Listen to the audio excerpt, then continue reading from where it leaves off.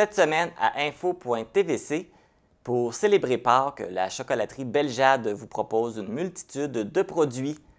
Le 15 avril prochain aura lieu une manifestation pacifique contre le plan de gestion des matières résiduelles à Saint-Moïse. Le club de curling de la vallée va recevoir le championnat provincial Cold. C'est le lancement de la campagne de financement de l'entreprise matapédienne Gym Off Fitness. Investir dans un REER ou un CELI, c'est de ce que nous discutons dans le cadre de la chronique de la CEF. Et j'ai rencontré la nouvelle mairesse de Cause-Abscal pour discuter de ses nouvelles fonctions. Bonne émission!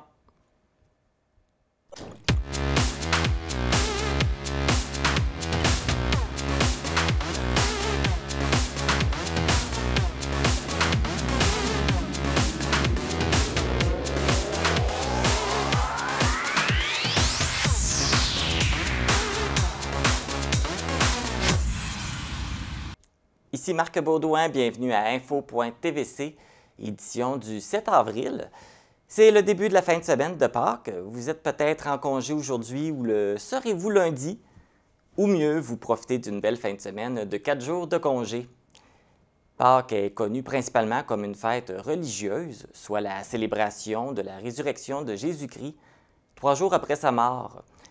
Mais la Pâques païenne, comme on connaît aujourd'hui, avec les œufs, lapins et poules en chocolat ne date pas d'hier.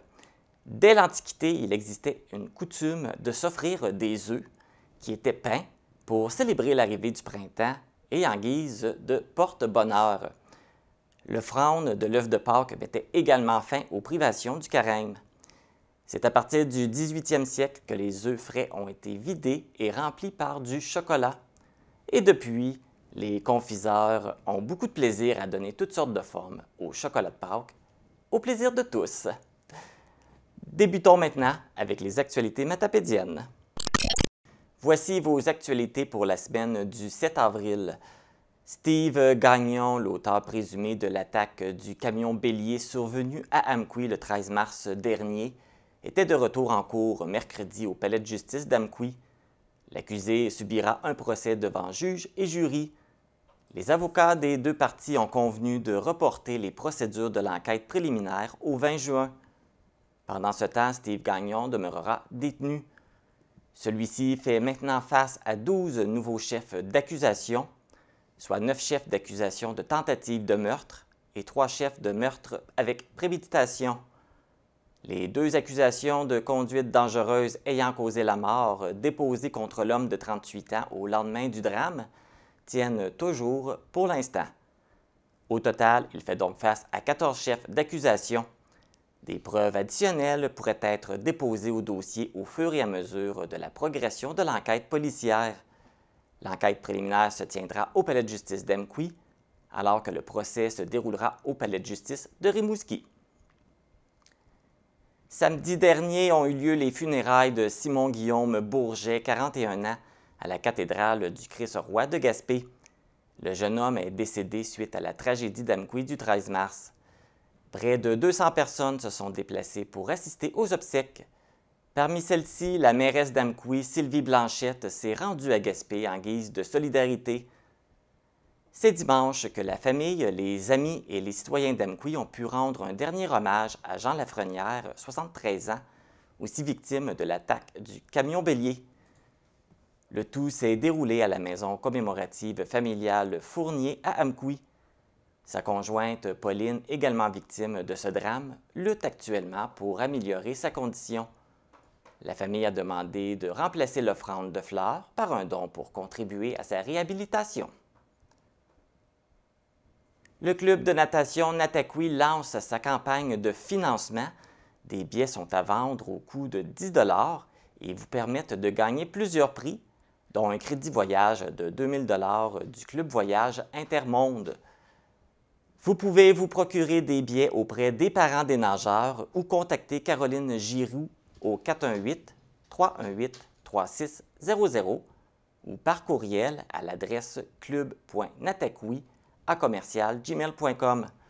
Les fonds amassés soutiennent le club et lui permettent d'assurer sa pérennité la campagne se termine le jour du tirage qui aura lieu le 22 avril. Les inscriptions pour la 11e édition du tournoi Néo-Futsal Thomas Pelletier 2023 sont ouvertes. Il est possible d'inscrire une équipe dans trois catégories, féminin, compétitif et récréatif. Les frais sont de 360 Le tournoi de soccer se déroulera les 26, 27 et 28 mai aux arénas d'Amqui et Cozapscal. Pour toute information et inscription, contactez le 819 668 1705 ou par courriel au tournoi néofutsal à commercial gmail.com. Les membres du jury du 25e défi Ose entreprendre ont sélectionné les lauréats locaux qui se retrouvent en liste pour le niveau régional. Plusieurs projets matapédiens font partie de cette liste. Dans le volet entrepreneuriat scolaire du Centre de service scolaire des Bons et Marais, on retrouve dans la catégorie primaire premier cycle le marché de Noël de l'école Saint-Arcisius. Dans la catégorie primaire deuxième cycle, le projet Cuisinons ensemble, l'esprit des fêtes de l'école de Valbriand et le meeting littéraire de l'école de Saint-Léon-le-Grand. Dans la catégorie adaptation scolaire au primaire, le, projet Savon en herbe de l'école Saint-Ursule d'Amqui. Au niveau secondaire, premier cycle, le projet Journaliste en herbe de la polyvalente Forimont à cause et la friperie du bonheur également de la polyvalente Forimont. Pour le secondaire, deuxième cycle, deux projets de l'école secondaire Armand Saint-Onge d'Amqui, soit assaut hockey et événementiel et collation santé et des grades. Au niveau de l'éducation des adultes, le projet L'effet papillon du Centre d'éducation des adultes de la Vallée. Les lauréats régionaux du défi Ose entreprendre Bas-Saint-Laurent seront connus lors de l'événement du 27 avril prochain à l'Hôtel Rimouski Centre de congrès. Voici maintenant les actualités sportives. C'est la fin de semaine dernière que s'est déroulé le championnat régional hockey Bas-Saint-Laurent aux arénas d'Amqui, Cozapscal et Sébec. C'est une équipe de hockey vallée dans la catégorie Atom A qui a remporté les grands honneurs en récoltant la médaille d'or Félicitations à toute l'équipe et aux entraîneurs. D'autres matapédiens se sont démarqués lors de la fin de semaine du 1er et 2 avril, cette fois-ci en patinage de vitesse lors des championnats québécois 10-12 ans qui se déroulaient à Laval. Stella Rossir d'Amqui s'est mérité le titre de championne québécoise en remportant la médaille d'or du groupe 1 en courte piste chez les filles de 11 ans. Olivier Leclerc, également d'Amqui, est aussi monté sur la première marche du podium en remportant la médaille d'or du groupe 2 chez les garçons de 12 ans. Quelques jours avant avaient lieu les championnats jeunesse de l'Est du Canada à Oakville, en Ontario. Stella Rose Cyr est revenue avec deux médailles d'or aux 400 mètres et aux 800 mètres et une médaille d'argent au relais mixte. Le club de patinage de vitesse d'Amqui sera présent les 8 et 9 avril à une compétition québécoise courte piste pour les 13, 14, 15 ans à Trois-Rivières. C'est ce qui complète les actualités matapédiennes. Après la pause, on vous amène à la chocolaterie Beljade pour des suggestions pour vos achats de Pâques. Et n'y allez pas trop tard, il y a beaucoup de choix, mais ça va partir vite.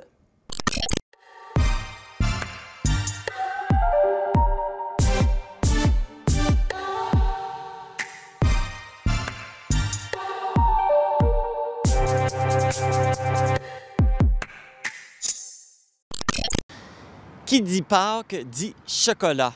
Qui dit chocolat dit chocolaterie Beljade. Alors je vais aller voir ce que nous réserve l'entreprise pour cette période de Pâques. Suivez-moi.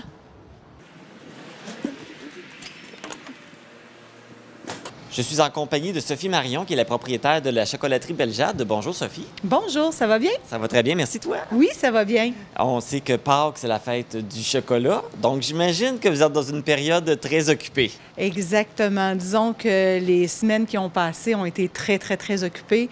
On a fait environ, dans les moulages de Pâques, un 2000 unités en, moulage 3D seulement, mis à part tout le restant qu'on a pour euh, offrir pour Pâques. Tout un travail. Oui, exactement. On a été chanceux, on a eu une belle équipe cette année avec, euh, avec euh, pardon, désolé, avec Shirley, avec Ariane et compagnie. Eux ont pu faire toute la couleur parce que, comme vous allez voir, là, tous les moulages de Pâques cette année ont toute une touche colorée euh, sur, les, sur les cocos. Donc, ça a fait une belle, une belle petite délicatesse pour les clients. C'est ça, là, on voit derrière nous toute la belle variété qu'on retrouve. Donc, c'est quoi toute cette, justement cette variété-là? Qu'est-ce qu'on retrouve? Bien, en fait, on a, pour les amateurs de chocolat noir, on a des moulages 3D en chocolat noir. Ensuite de ça, pour ceux qui sont intolérants au lactose, dans le chocolat noir, ça ne contient pas de lactose. Vous devez prendre ceux qui sont tout noirs. Ensuite de ça, on a notre gamme en chocolat au lait. Et puis, on a notre gamme de chocolat blanc.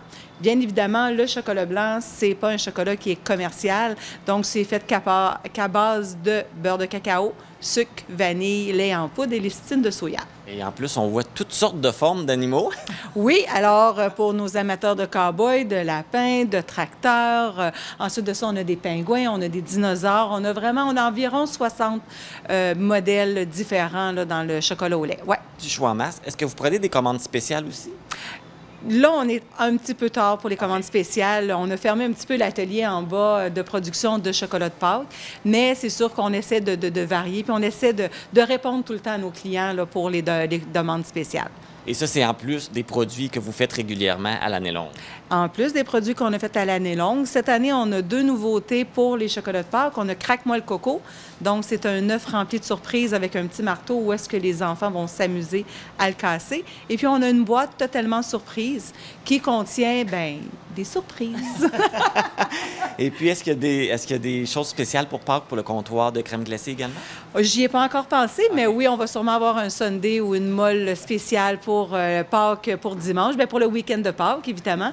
À confectionner quelques gâteaux pour euh, Pâques. On va avoir nos cupcakes, on a toujours nos petits desserts, nos petits desserts euh, chocolatés, gâteaux fromage et compagnie. Donc, ouais. Est-ce qu'il va y avoir des heures spéciales? Est-ce que ça reste les mêmes heures pour la période de Pâques? Là, présentement, on est ouvert à partir de hier, du lundi au vendredi, de 9h30 à, 17, à 19h. Samedi, dimanche, on va se garder un petit, un petit congé, donc on, ça va être de, 10h à 17h, pardon. Et à compter de lundi de Pâques, bien là, on est ouvert 7 jours sur 7, de 9h30 à 19h à tous les jours. Sophie Marion, merci beaucoup. Et là, on le sait, vous avez beaucoup de travail à faire, fait qu'on va vous laisser aller travailler. merci, vous êtes gentil. Et puis, joyeux Pâques à tous mes clients, puis merci infiniment de faire le détour pour venir nous voir. Si vous n'avez pas encore fait vos achats de Pâques, pensez achat local, pensez chocolaterie Beljade et dépêchez-vous parce que ça va partir vite. D'ailleurs, moi, je prends celui-là, celui-là, celui-là. Ah, peut-être celui-là aussi. Pour nous joindre, composez le 418 629 4503 ou écrivez-nous à journaliste à commercial tvcmatapédia.com. Restez à l'affût de toutes nos activités en nous suivant sur Facebook. Vous pouvez également regarder nos émissions en vous abonnant à notre chaîne YouTube. Depuis la proposition de la mise en place du projet de plan de gestion des matières résiduelles conjoint des MRC de la Matapédia et de la Métis sur le territoire de la municipalité de Saint-Moïse, des citoyens se sont mobilisés pour s'objecter au projet qui serait installé dans un milieu humide et hydrique. Plusieurs actions ont été réalisées depuis et le 15 avril prochain, une manifestation pacifique aura lieu. Pour nous en parler, je suis en compagnie de Madeleine Plante, citoyenne de Saint-Moïse. Madeleine Plante, bonjour. Bonjour, Monsieur Marc. Ça va bien? Très bien, merci vous-même.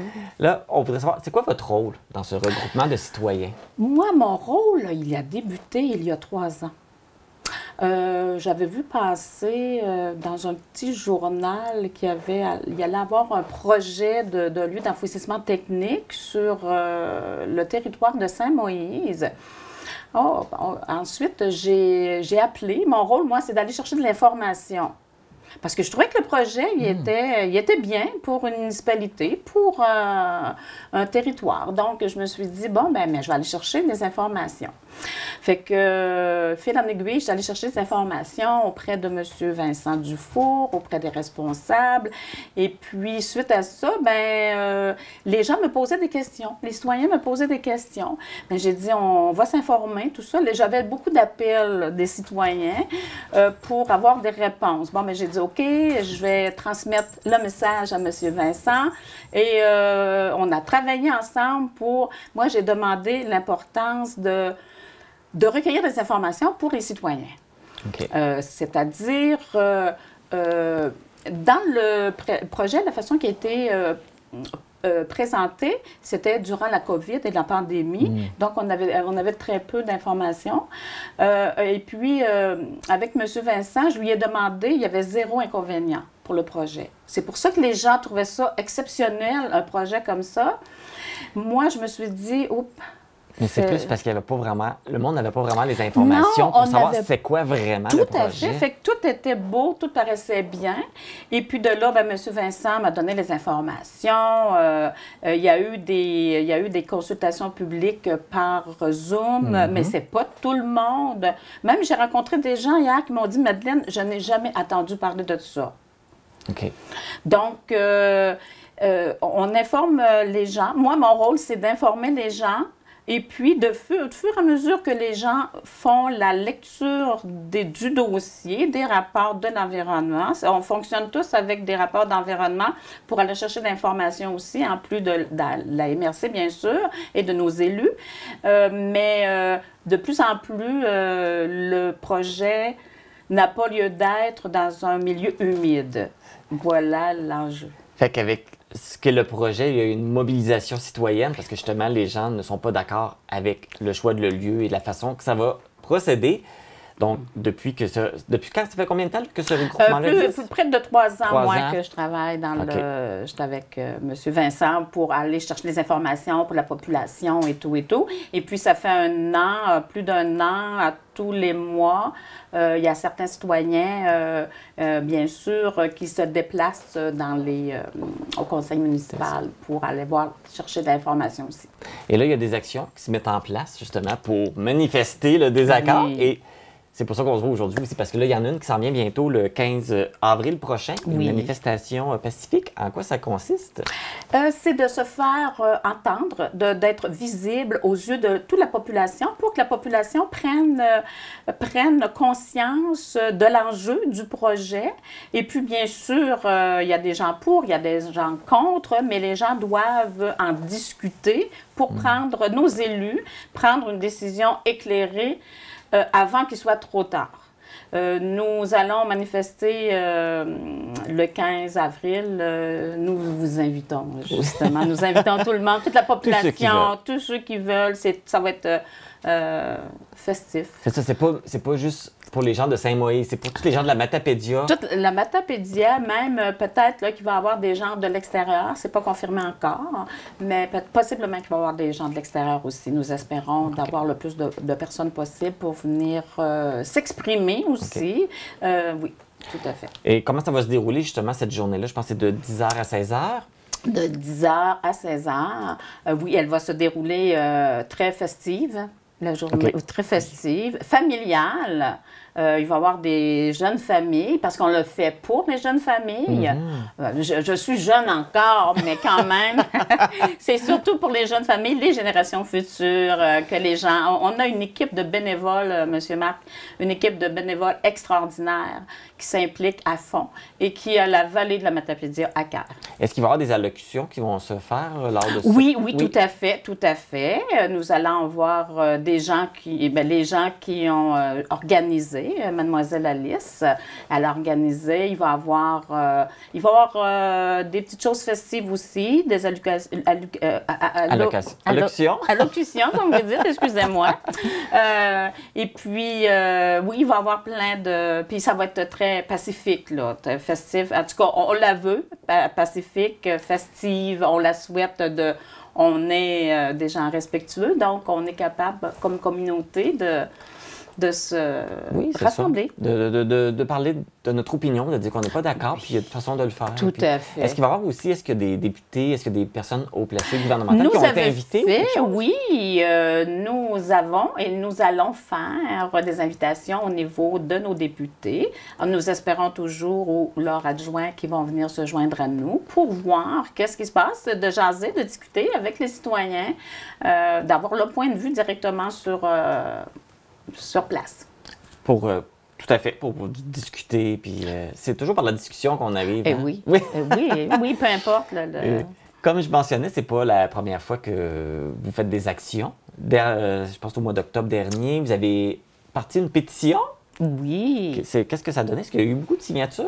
Oui, beaucoup de signatures euh, parce qu'on a touché quand même 34 municipalités.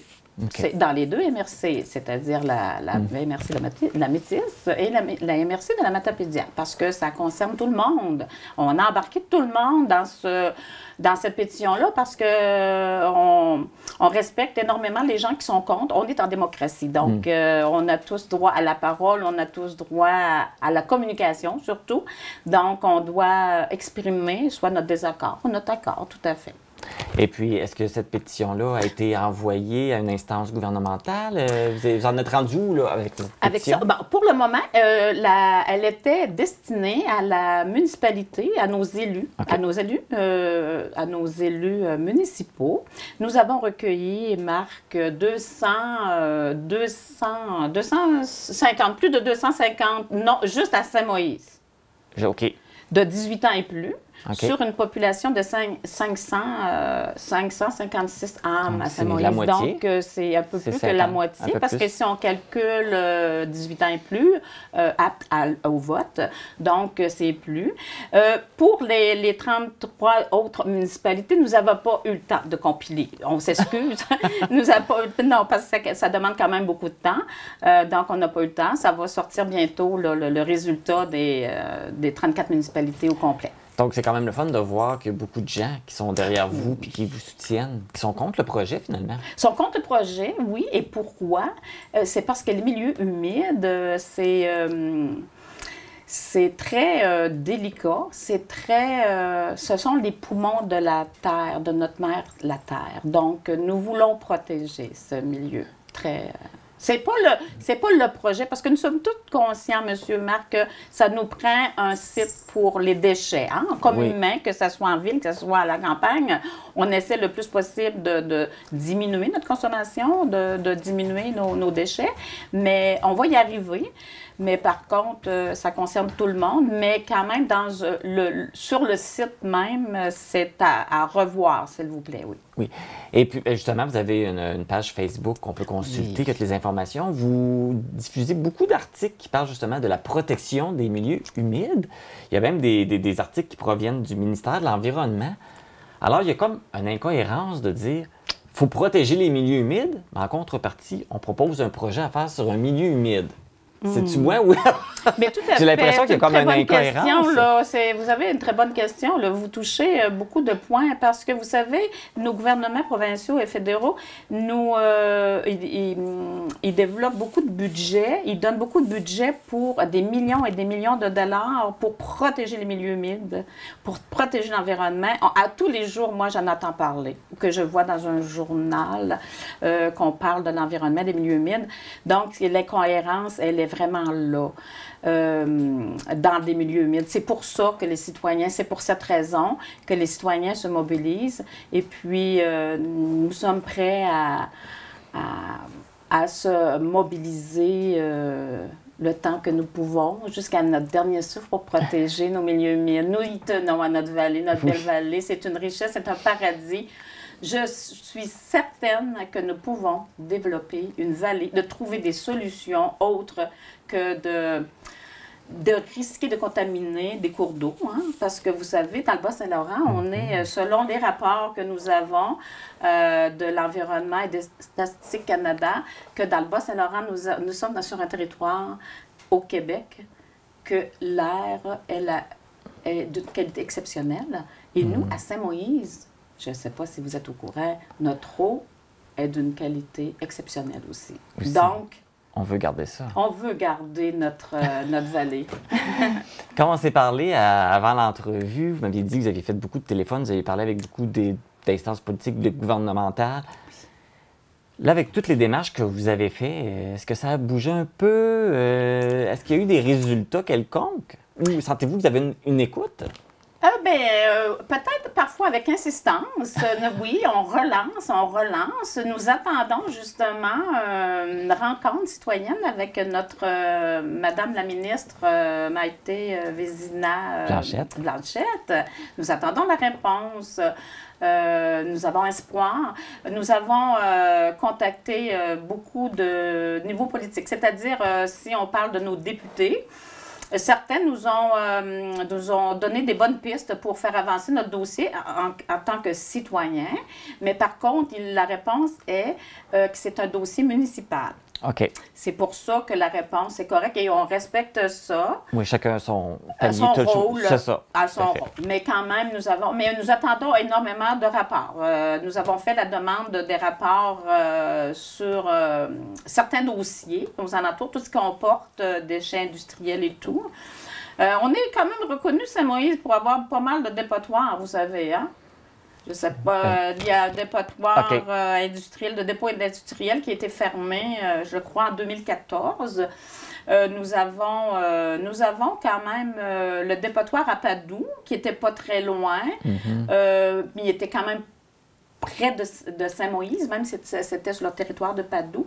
Qu'est-ce qu'on demande à nos élus municipaux ou nos élus provinciaux, l'environnement et tous les paliers, c'est de ne pas refaire les mêmes erreurs de ne pas refaire les mêmes erreurs qu'avant. Je sais que c'est des nouvelles techniques. Oui, je suis. Euh, on, a, on a lu le dossier, j'ai lu le dossier. C'est des nouvelles techniques, oui. Mais quand même, euh, ils ne peuvent pas prouver ça, c'est dans l'environnement. Ils ne, ne, peuvent pas prouver que les membranes seraient euh, résistantes pour quel, quel laps de temps? 30 ans, 35 ans? Euh, c'est pas garanti. Ils ne peuvent pas garantir. Donc, euh, c'est trop jeune, hein, parce que c'est 30-35 ans. Euh, les, LET qui sont à jour, autrement dit, ça fait pas assez longtemps pour prouver que cette membrane-là est, est sécuritaire. Mais là, vous parliez qu'il y avait différents euh, paliers, tout ça. Mais est-ce que vous avez eu des discussions avec les, la MRC depuis euh, l'annonce de, ce, de ce projet? Oui, oui, en consultation publique. Euh, Madame Lavoie, nous avons, oui, on a eu des discussions. ils nous ont donné des réponses, mais c'est les réponses que nous avons présentement, c'est d'attendre le BAP, le Bureau d'audience sur l'environnement. mais nous, nous trouvons comme citoyens, il y a énormément de, de sous qui est dépensé dans ce projet-là. Et si nous attendons encore le BAP, si nous attendons d'ici le BAP, euh, il y a beaucoup de sous, puis ça peut être long, puis il y a beaucoup de sous entre-temps qui se dépensent pour un projet que déjà peut-être qui, en étant dans un milieu humide, euh, c'est assez délicat. C'est assez délicat, oui. Oui, c'est quand même un, un gros dossier. C'est pas, pas évident. non, c'est pas évident, Marc. C'est pas évident. Mais là, on va, il va y avoir la, la manifestation pacifique. Et après ça, j'imagine que vous avez d'autres plans, d'autres euh, projets d'action que vous voulez mettre en place. Tout à fait. Tout dépend des réponses de nos élus municipaux et de nos élus euh, régionaux, qu'on peut dire nos, deux MRC, euh, en espérant de pouvoir travailler ensemble pour trouver un, un terrain d'entente là-dessus. Euh, oui, on va avoir, euh, on a des plans B, des plans C. Euh, on travaille avec des fondations, on travaille avec des organisations pour aller chercher le plus possible, pour que ça soit maintenant c'est municipal, régional et provincial et même au niveau de, du pays. Nous devons, nous, nous, devons se faire entendre donc, un dossier à suivre. Oui, oui, avec plaisir, oui. Madeleine Plante, merci beaucoup de nous avoir accueillis. Merci et de, nous avoir parlé de, ce, de, cette manifestation et de ce, de ce projet-là du point de vue des citoyens. Merci beaucoup et joyeuse Pâques. Merci. Merci. Je vous rappelle la manifestation pacifique qui aura lieu à Saint-Moïse sur la route Otis le 15 avril de 10h à 16h pour s'opposer au projet du plan de gestion des matières résiduelles. Vous êtes invité à y participer pour suivre les actions des citoyens, vous pouvez consulter la page Facebook Un méga dépotoir à Saint-Moïse Est-ce vraiment une bonne idée? Oui, ce sera pas long, je vais vérifier ça. Marie-Brigitte, qu'est-ce que tu fais? Euh, je vérifie les cartes de bingo. On a une tablette pour faire ça maintenant! Nous avons un gagnant, nous allons commencer le tour suivant dans un instant.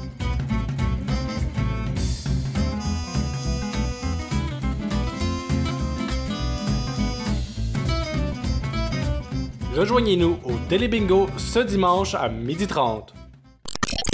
Le club de curling de la Vallée sera l'hôte d'un important tournoi, soit le championnat provincial Code. Cet événement permet au club de poursuivre ses activités et de faire découvrir la Matapédia aux différents participants qui vont venir participer à ce tournoi. Pour nous en parler, ben, je reçois Marc Ouellette, qui est président du comité organisateur. Bonjour Marc. Bonjour. Ça va bien? Très bien, vous? On a ce... Ça va très bien, merci. On a ce beau championnat qui va, qui va se produire ici à Amkoui. Oui. C'est la première année qu'on le reçoit. Oui, celui-là, oui, c'est la première année. Et c'est quoi ou juste le championnat? Championnat provincial Cole, c'est des pour accueillir les joueurs de 5 années d'expérience et moins. OK. Fait que fait découvrir c'est quoi les tournois, puis euh, c'est toutes des jeunes équipes, là, des- du monde, que ça fait moins de 5 ans qui jouent. ouais, et ça part de, de 17 ans jusqu'à 80 ans. OK. Là, c'est un gros championnat, fait qu'on a des, il y a des gens qui viennent de partout du Oui. Québec? Partout du Québec, euh, Côte-Nord, euh, Montréal, euh, tous ces environs. 20 Oh. équipes en tout. C'est 20 équipes qu'on reçoit? Ouais, C'est bon. Et puis là, ils viennent de, de où, les équipes? un petit peu partout. Là. ça. On en a... euh, Saguenay. Abitibi, Montréal, Québec, ça, euh, vraiment- Rimouski, Rivière-du-Loup. C'est un événement qui va apporter quand même beaucoup de tourisme à la région. oui, Ça va être, euh, ça va être, euh, très- ça va être super le fun pour nos, nos commerçants ici. Et justement, qu'est-ce que, qu'est-ce que ça demandait pour recevoir ce tournoi-là ici? C'était quoi les démarches que vous aviez à faire? Mais parce que chaque année, ça se fait dans une région différente. Puis cette année, il offrait le faire dans l'Est du Québec. Dans l'Est Québec, c'est soit Amkoui, Rimouski ou Rivière-du-Loup. OK, on a quand même battu Rimouski. c'est quand même Amqui qui l'a reçu. Est-ce qu'il y avait des critères particuliers?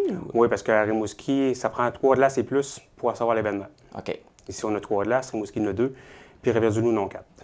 OK. Fait que Fait que ça s'est joué entre ici. nous, puis Rivière-du-Loup. Ça s'est joué entre. C'est ça, exactement. 20 équipes, ça fait combien de participants, ça? Ça fait à peu près 120 participants. 120. C'est un gros tournoi.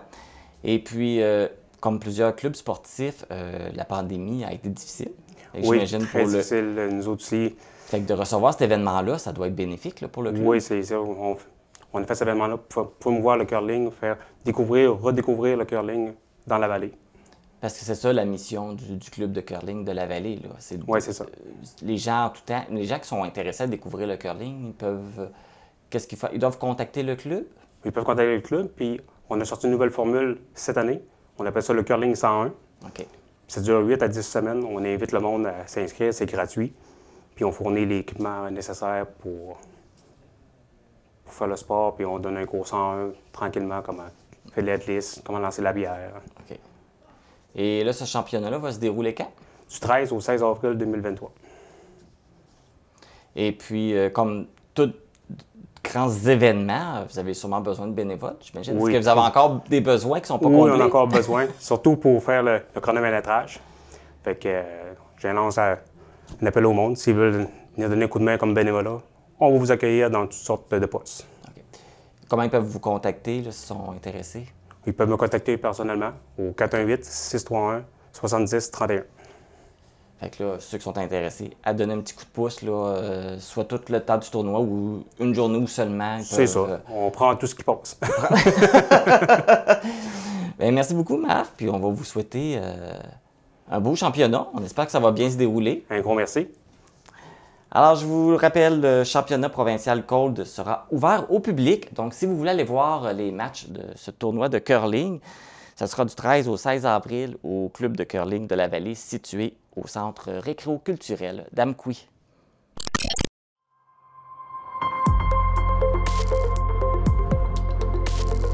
Pour connaître ce qui se passe chez vous, dans la vallée de la Matapédia, TVC Matapédia, on s'y retrouve partout. c'est le moment de la Minute de l'humour avec... Avez-vous déjà remarqué que les plongeurs en haute mer, ils plongent toujours par en arrière? Savez-vous pourquoi? Parce que s'ils plongeraient par en avant, ils tomberaient à face première dans le bateau!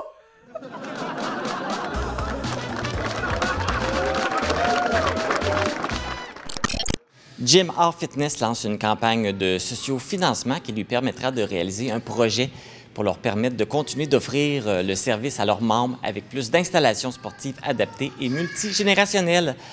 Pour en savoir plus sur ce projet, je vais aller rejoindre les propriétaires du Gym Art Fitness. Je suis en compagnie des propriétaires du Gym Art Fitness, Jackie Castonguay et Kim Chenel. Bonjour à vous deux. Bonjour. On est ici pour annoncer une campagne de socio-financement. Oui. Et je vais, vous je vais vous laisser nous expliquer c'est quoi ce beau projet qui s'en vient. Oui, Bon. Euh, en gros, euh, la polyvalente d'Amkoui, on donne des cours euh, aux jeunes, des cours de multivalse. Puis euh, le local va être transformé en salle de classe bientôt. Donc, on a besoin de trouver un nouvel emplacement pour ce local-là. Ça va être juste à côté, au 70 rue d'Auteuil. Fait qu'on a- on lance la campagne de financement pour nous aider à aménager le local et euh, acheter des nouveaux équipements pour euh, le local actuel qui va être déménagé aussi euh, dans la bâtisse là-bas. Donc, on parle d'un presque 2000 euh, pieds carrés de plus que le local que nous avons actuellement ici. C'est ça, parce que, étant donné que vous allez devoir changer de place à l'école, tout se bien, as tout changé, et de vous en aller là-bas. Là, tu disais qu'il est un petit peu plus grand. Comment va être faite la configuration du local là-bas? Euh, sensiblement pareil euh, au gym qu'on a présentement à Mkoui, mais vraiment plus grand pour pouvoir accueillir plus de groupes de jeunes. Parce que présentement, on manque d'espace. Euh, notre section Open Gym est pas assez grande. Nos jeunes nous demandent beaucoup d'avoir plus d'équipement, mais on peut pas en rentrer plus. Là, vous avez choisi un édifice sur la rue d'Auteuil. Y a-t-il une raison pour laquelle vous avez choisi ce secteur-là? Euh, oui, c'est juste en face quasiment de l'école secondaire. Euh, puis c'est un garage, donc on, on va avoir des portes de garage pour ouvrir les portes l'été. Euh, puis euh, on va prendre la bâtisse au complet, donc euh, on n'aura plus de voisins à déranger avec le bruit de, de la musique et des bars qu'on lâche par terre. là. Fait que c'est un gros avantage. là. Donc, dans le fond, c'est pour pas pénaliser les jeunes. Oui, oui, oui. Puis on reste proche de l'aréna, on reste proche de la piscine, on est vraiment proche de tous les secteurs de loisirs Des aussi. loisirs. Puis même pour vos habitués qui viennent ici, c'est pas très loin non plus. Non. Effectivement. Un projet comme ça, ça se fait pas tout seul?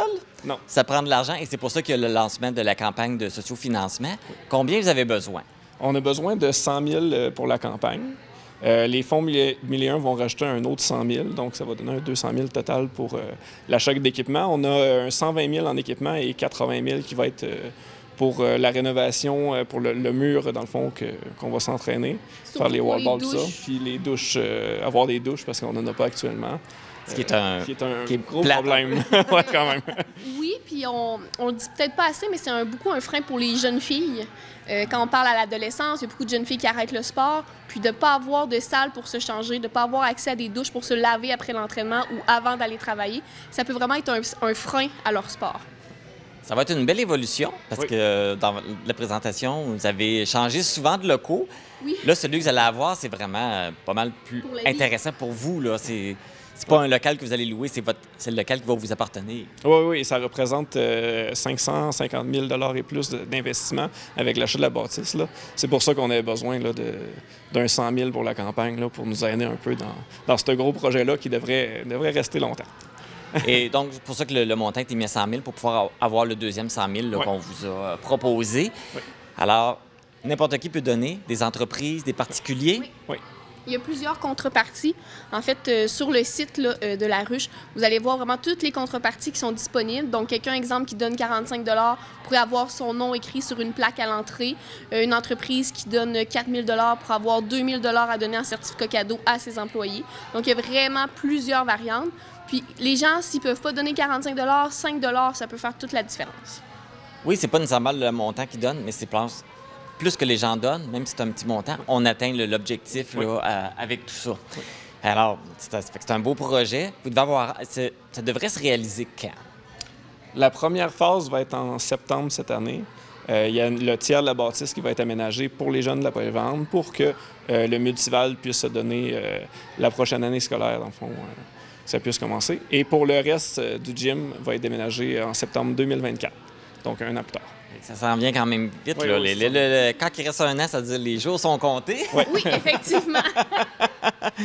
Alors, là, on a parlé un peu les gens, s'ils veulent donner, il faut qu'ils aillent sur le site de la source, de la, de la ruche La ruche, plutôt. on va la partager surtout, on va partager le lien sur notre page Facebook aussi là, euh, dès la semaine prochaine. Donc, les gens qui veulent donner, puis en plus, euh, ils vont avoir leur nom décrit, ceux qui veulent donner aussi. Fait que une belle participation. Dans le fond, c'est une belle façon de faire participer la population. Oui. Oui. Et d'intégrer la population là, dans cette belle entreprise matapédienne. Oui. Félicitations à vous deux. C'est un beau projet. Puis on a bien hâte de voir le résultat final. On va sûrement être là pour l'inauguration officielle. Oui, Merci. Merci. Merci d'être toujours là d'ailleurs. Si vous voulez contribuer à la campagne de socio-financement du Gym Off Fitness pour leur permettre de continuer à offrir les services qu'ils offrent, mais dans leurs euh, nouveaux locaux, vous pouvez faire un don par l'entremise du site laruchequebec.com barre oblique Gym Off Fitness. Et selon les dons que vous faites, ben, il y a des contreparties. Donc, vous pouvez avoir euh, votre nom décrit sur le mur à quelque part et votre contribution sera marquée pour toujours. Alors, soyez généreux. pour contrer le manque d'informations locales, pour sensibiliser la population, pour mettre en valeur le savoir-faire régional, pour divertir la population, pour être accessible à la portée de tous et proche des gens, pour que nos histoires soient relatées et racontées pour les gens qui ne peuvent se déplacer. Au Bas-Saint-Laurent et en Gaspésie, vos huit télévisions locales existent pour vous.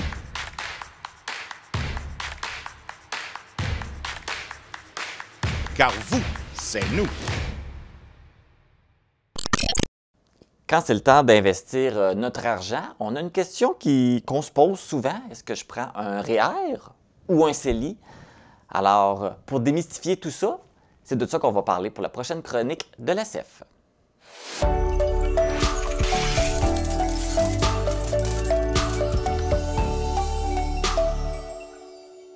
Je retrouve, comme à chaque fois, la directrice de la CEF, Hélène Guilbeault. Bonjour Hélène! Bonjour. Ça va bien? Oui, très bien, merci. Alors aujourd'hui, on parle euh, de REER, de CELI. hein. On a tous des projets de vie, puis on veut souvent investir de l'argent pour nos projets. Mais souvent, on se demande toujours euh, lequel choisir ou comment investir. Oui. Alors, je te lance la question. Ben oui, tout à fait. En fait, ben là, c'est ça, on vient de faire les impôts, hein, donc des gens qui ont pu recevoir des retours d'impôts ou qui peut-être ont eu des surprises et ont eu de l'impôt à payer. Donc, il y a des stratégies à faire justement avec les différents placements pour nous permettre de parfois sauver de l'impôt, entre autres, au travers de tout ça. Donc, il y a différentes options qui sont disponibles et une troisième qui est maintenant disponible aussi cette année, à venir sous peu.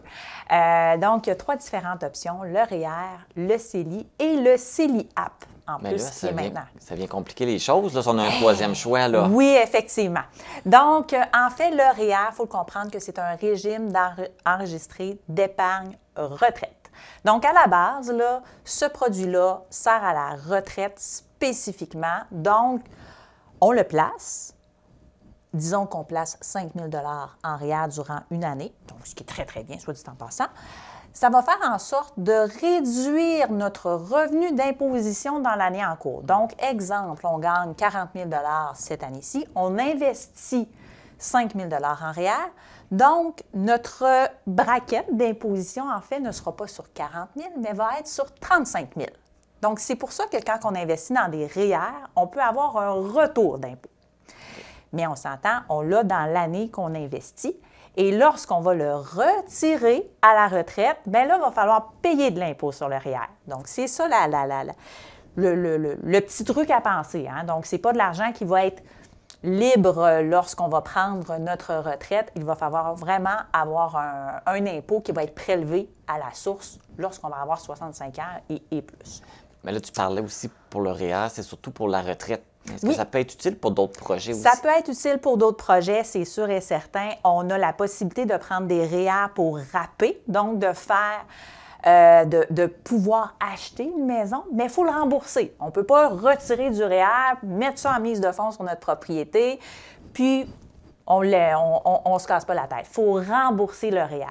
Donc, ça a un enjeu quand même, il faut comprendre, euh, parce que veut, veut pas, il faut quand même l'intégrer dans notre budget, ce remboursement-là, et quand même continuer de cotiser, hein, parce qu'on s'entend, la somme qu'on a empruntée, elle n'est plus dans nos REER. Hein, donc, il est important de continuer quand même de cotiser à nos REER. Et il faut comprendre que la valeur qui est remboursée sur le RAP, elle n'est pas, ne fera pas diminuer le revenu d'imposition comme une cotisation REER normale, parce qu'elle a déjà été cotisée. J'avoue, c'est quand même assez particulier. Sinon, pour l'achat de la propriété, on a maintenant le CELI App. Euh, qui est tout nouveau. Là, ben, il n'est pas encore officiellement lancé. Ça s'en vient dans les prochains jours, là, qui nous disent depuis le début de l'année. Donc, euh, officiellement, le CELI App vient euh, rapidement sur le marché et c'est un mélange entre le REER et le CELI. Donc, permet de réduire le niveau d'imposition et en plus d'être à l'abri de l'impôt. Donc, c'est ça qui est intéressant au travers de tout ça. ultimement, si on n'a pas trop de, Parce que là, dans le fond, tantôt, on parlait que le REER, c'était beaucoup pour sauver de l'impôt. Hein? Donc, si on est dans les braguettes d'imposition un petit peu plus basses, hein, donc en bas de 50 000, c'est pas nécessairement si avantageux d'aller cotiser vers le REER. Parce qu'à 50 000, oui, on paye de l'impôt, mais on n'est pas dans les hautes catégories d'impôt malgré tout. Donc, oui, ça peut être avantageux de prendre des REER, mais ça peut être très, très, très pertinent de prendre des CELI. Parce que le CELI, ce qui est intéressant, c'est que, lui, il est pour n'importe quel type de projet. Autant pour la retraite que pour s'acheter une maison, que pour rénover sa salle de bain, que pour faire des vacances dans le sud. Donc, c'est quand même pertinent de pouvoir avoir de l'argent qui est disponible. Et, oui, contrairement au REER, c'est facile de retirer du CELI. Bien, exactement. On n'a pas besoin de se battre avec personne. On n'a pas besoin de se chicaner avec notre institution financière. Donc, et, ni même de prouver quoi que ce soit, on peut tout simplement appeler je veux retirer de mon CELI et ça se fait dans deux jours systématiquement. Ou même euh, avant si vous avez un épargne rachetable rapide.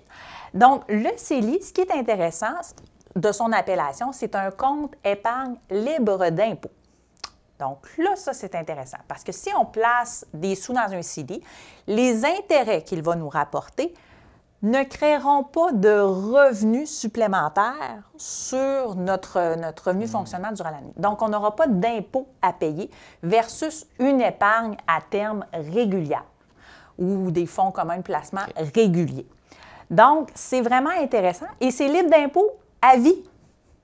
Donc, si on le prend à la retraite, on ne paye pas d'impôt dessus versus le REER que lui, on va payer de l'impôt. OK. Et ce qui est intéressant avec le CELI, c'est que si, exemple, il n'est pas maximisé, donc ça, ça veut dire que si on n'a pas pris notre droit de cotisation à chaque année, parce qu'au départ, on avait le droit de prendre 5 000 l'année d'après 5 000 l'autre année d'après 5 000 et ça depuis 2009. Hein, on s'entend. Donc, depuis 2009, si la personne avait 18 ans en 2009, elle a le droit d'avoir 88 000 maintenant dans son CELI. OK. Donc, ça fait en sorte que si on a quand même une certaine liquidité, on peut placer ça dans le CELI et c'est libre d'impôt et surtout libre d'impôt lors du retrait, donc c'est encore plus pertinent. Il faut comprendre que ce revenu-là, à la retraite, n'est pas vu comme un revenu de retraite, comme va l'être un, un, fonds de pension, comme va l'être les rentes gouvernementales, comme va l'être un REER qui va être transféré en fer. Ça ne sera pas vu comme un revenu de retraite. Donc, à ce moment-là, on peut l'utiliser pour optimiser notre non-revenu d'une certaine façon et d'avoir les allocations gouvernementales bonifiées. OK. Et puis pour le CELI... Le CELI App. Ah, le CELI App. Oui, c'est ça, le CELI App. Donc lui, c'est ça peut être pour tout projet aussi ou c'est principalement pour la retraite? Principalement pour l'achat d'une propriété. OK. Oui, à la base, c'est vraiment pour l'achat d'une propriété, donc pour monter son capital à l'abri de, de, de, de l'impôt. Euh, pour s'acquérir une propriété. Et si, exemple, on ne l'utilise pas pour acquérir une propriété, bien, on peut le rouler vers nos REER. Donc, ça, c'est quand même intéressant parce que si finalement les champs les, les, les, euh, on change d'idée ou quoi que ce soit, bien, on peut faire en sorte quand même de l'utiliser pour nos REER. Donc, ça va migrer nos droits de cotisation vers les REER. Donc, c'est bien important à chaque fin d'année, là, vous avez tous fait vos rapports d'impôt, tout le monde. Hein? Donc, on va recevoir nos avis de cotisation. Sur nos avis de cotisation, il est indiqué qu'est-ce qu'on a le droit d'investir. Donc, on a la somme de REER qu'on peut mettre, qui est important de ne pas dépasser si on est pénalisé. Et même chose pour les CELI. OK. Donc, on a tout ça sur notre avis de cotisation fédéral, très important à conserver et à utiliser. Donc, si des fois on a justement des entrées d'argent, ça peut être intéressant de pouvoir baisser notre fardeau fiscal. Donc, si on a de l'espace utilisable dans les, euh, dans, dans, dans les REER, bien, ça peut nous permettre de diminuer notre revenu d'imposition. Donc là, ce que je comprends, c'est que selon notre projet, selon notre revenu, on choisit quel qui nous convient le mieux. Oui. Mais aussi, des fois, ils nous disent de ne pas toujours mettre tous nos œufs dans le même panier. Est-ce que ça peut être une bonne idée de prendre un REER, un CELI ou un CELIAP avec un CELI? Bien, en fait, tout dépend beaucoup du plan de vie où est-ce qu'on est rendu. Mais ultimement, je pense que c'est bien d'avoir des sous un petit peu partout. Parce que le CELI, le, CELI est super pratique. Il nous arrive quelque chose, une catastrophe à la maison, la plomberie explose.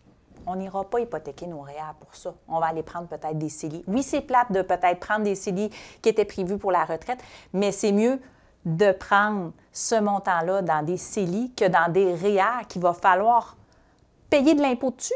Hein, parce que, on, se rappelle, le REER est pour prendre à la retraite à la base. Strictement. Ça.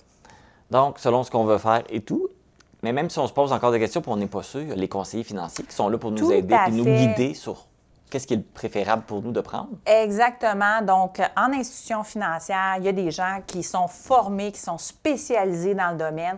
Donc, des fois, on a des conseils de... Moi, je me souviens quand j'ai commencé ma, ma, ma, mes premiers emplois à 18 ans, on m'a dit « Investis dans des REER, c'est très important. » Mais bon, à 18 ans, c'était pas si important. J'aurais peut-être pu avoir des CELI, mais j'avais été conseillée par des amis, par des parents, par ci, puis c'est bien correct. Mais n'empêche que le professionnel en institution financière a davantage une vision globale de votre situation, de vos revenus et peut avoir différentes stratégies de placement pour, euh, pour chacune des personnes qu'il rencontre on peut vous contacter aussi à la CEF pour avoir des ben, infos. Oui, on va vous donner des informations très générales. On s'entend, on n'est pas là pour euh, faire de la planification financière à proprement parler, mais on est là pour éduquer les gens. Donc, ça fait partie un petit peu de notre mandat, tout ça aujourd'hui, de vous faire l'exploration des trois différentes offres qui sont présentement disponibles et très intéressantes, mais pour plus de, de détails, c'est sûr, les institutions financières demeurent les professionnels à ce niveau c'est quand même important de se mettre de l'argent de côté.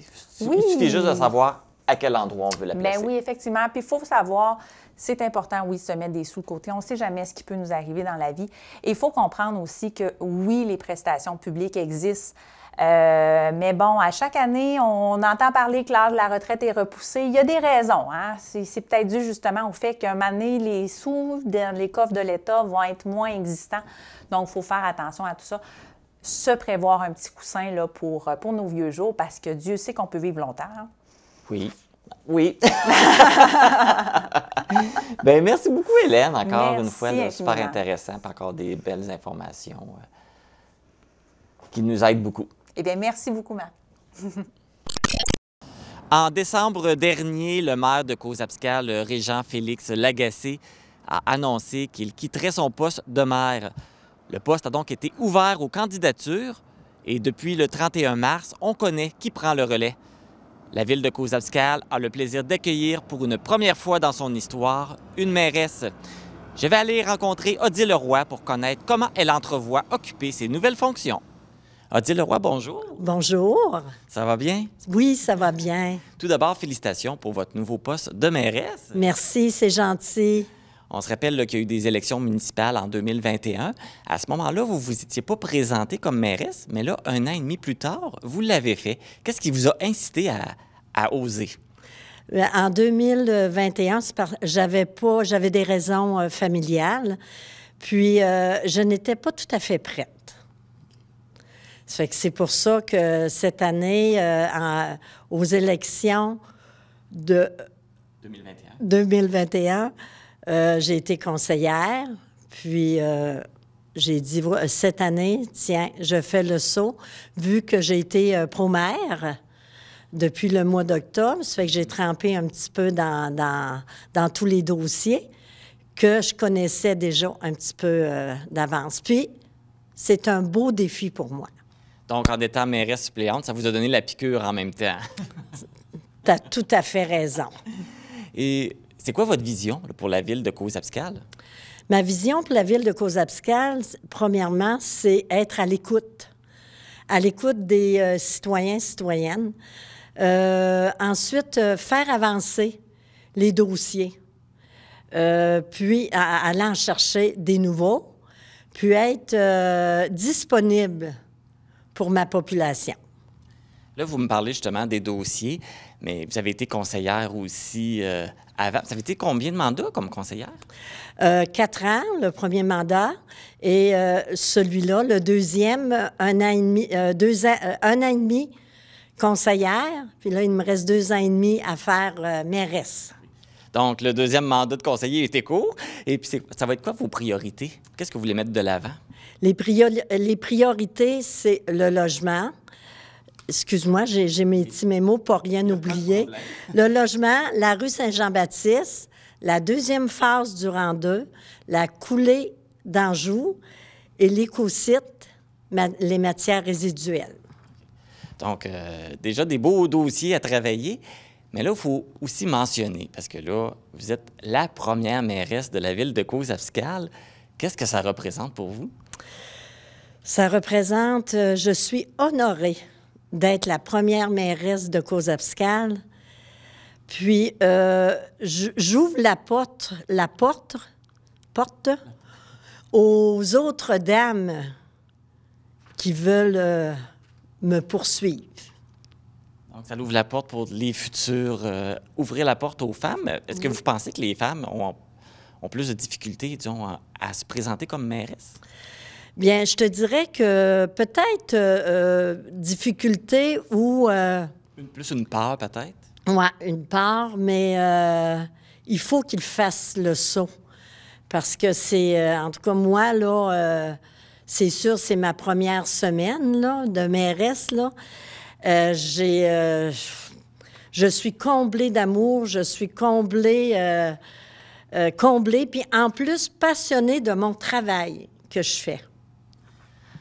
Vous mentionnez que ça fait une semaine, mais c'est déjà commencé parce qu'il y a déjà eu une séance du conseil. Alors, comment ça s'est passé pour vous d'avoir la chaise principale lors de cette séance du conseil? Ça s'est très bien passé. Puis, euh, ce qui est plaisant, c'est que euh, tout en étant à l'écoute, on fait nos réunions de conseil euh, très, très, très agréables. Puis j'ai un, un, très bon, des très bons conseillers et aussi un, bon DG là, qui, qui euh, me suit dans mon travail. Puis je, suis bien entourée. Donc là, on parle de conseiller. Vous avez libéré une chaise, donc là, il va y avoir des élections pour élire euh, le prochain conseiller qui va vous remplacer. Oui, euh, les élections vont avoir lieu le 30 avril. Les nominations sont M. Jean-Marie Cabera et Jimmy Tremblay de Cause Abscale. Pour moi, c'est la sagesse et la jeunesse qui gagnera?